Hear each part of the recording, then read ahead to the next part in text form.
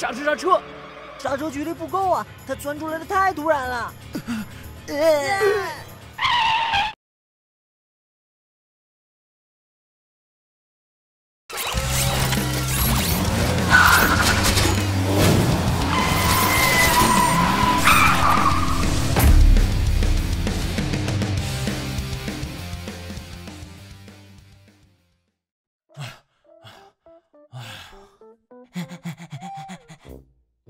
我我我，开车能不能小心点？今天接贤姐要是迟到了，她又得扣我工资。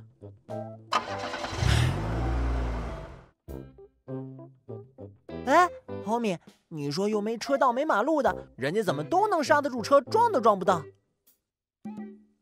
上一季天天教，日日教，你咋一点长进都没有？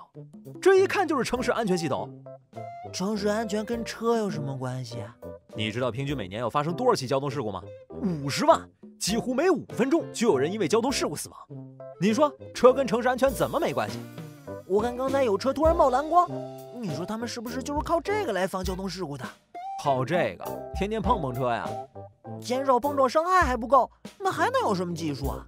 你比如说大型动物监测系统。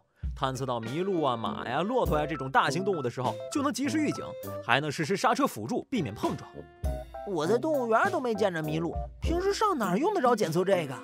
你要大晚上没看着骑自行车的好见，或者没留意跑过马路的行人，不就发生事故了吗？再说了，就算你平时眼睛瞪得像铜铃，上高速撞个野猪，不是也得让我给你修？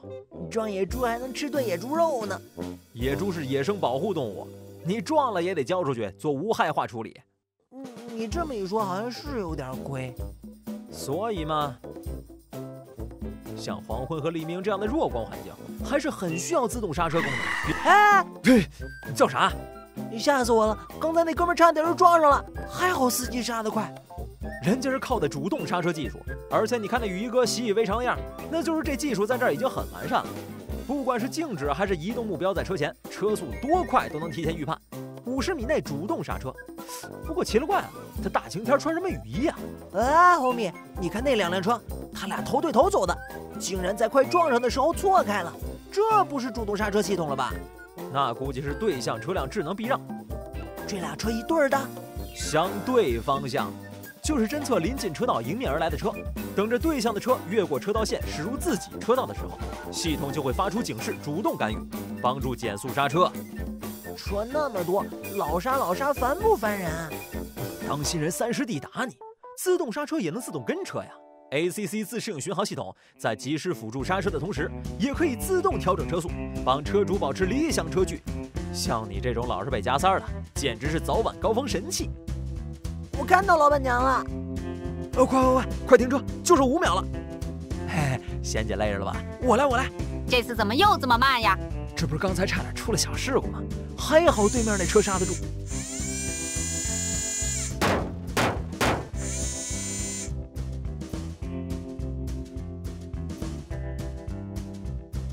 咱们啥时候也换个带 ACC 的车呀？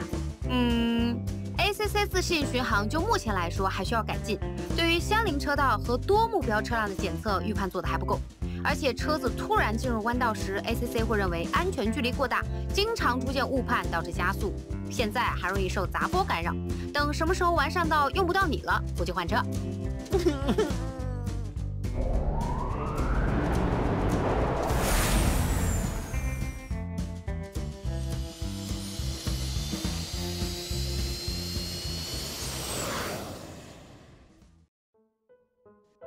马达。马达，马达，什么时候了还睡觉？赶紧起来洗车！呃，好的，贤姐。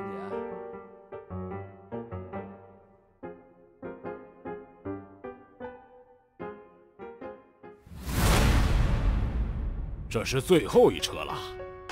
老大说一会儿存完仓库，咱就可以歇一天。存完不用盘点啊？上哪里歇去啊？要我说，他当什么老大？就应该换我来当，他一天天，哎呦我去，好眼熟，我昨天好像梦到这破车了。